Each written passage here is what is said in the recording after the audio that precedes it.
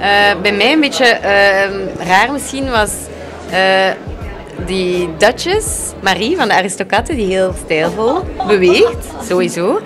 Ehm, en ook wel Jessica Lange van American Horror Story, ik heb je dat gezegd. Eh, dat waren twee actrices of twee personages in films die mij wel hebben geïnspireerd.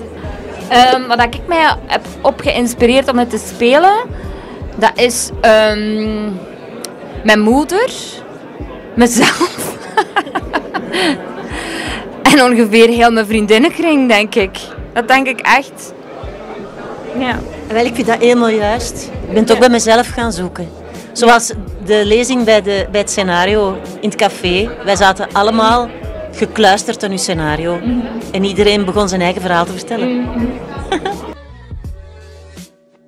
Ik heb van Florence and the Machine ben ik wel heel gek op, omdat hij zo alles in zich heeft. Die is zo, zowel diva als, als meisje, als ehm, stoere madame.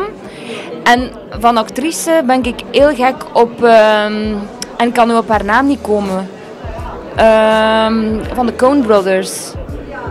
Ah ja, die Miske. nee, die ook die 12. Ah ja, van Farhoeda. Ja. hoe heet zij nou? Frances McDormand.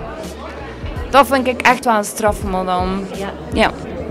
Maar, ehm, ik, ik vond in het filmpje van Lien, eh, het voorfilmpje voor eh, dit festival, van Ja. die verschillende dames, dat, dat hoeven allemaal uiteraard geen sterren. Ik bedoel, mijn buurvrouw, de, de, de, de, de, bakkerin. eh, ja, maar toch waar.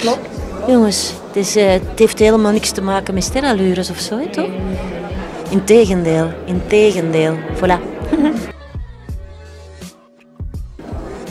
Ik ben zeker alle twee en ik ben er heel blij om. Same. And. The same. dat is iets voor u. Dus ik, jij kunt dat best dialect. staande... Zo dan. Und.